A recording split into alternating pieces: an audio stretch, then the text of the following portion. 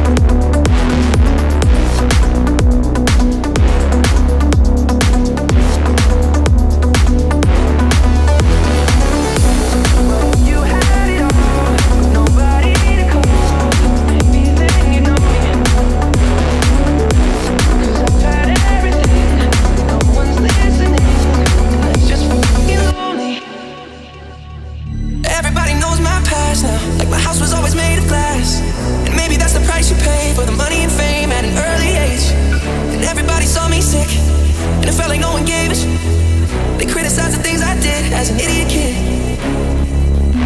But if you had